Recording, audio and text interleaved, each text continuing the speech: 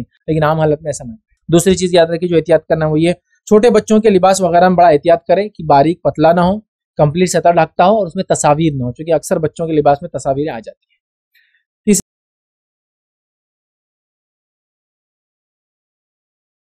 असलम आप भी हमारे इस काम में ताउन करें, अपनी ज़कात के ज़रिए। डोनेशन डिटेल्स के लिए डोनेट पर क्लिक करें। अगर आपको हमारे वीडियो पसंद आए हैं तो इसे शेयर करें और आपके हकदार बने। रोज़ाना हमारे वीडियो को पाने के लिए हमारे यूट्यूब चैनल को सब्सक्राइब करें और बेल आइकन दबाएँ। हमसे दीगर सोशल मीडिया पर जुड़ने के लिए वीडियो में दिए गए आईडी को सर्च करें। जजाकला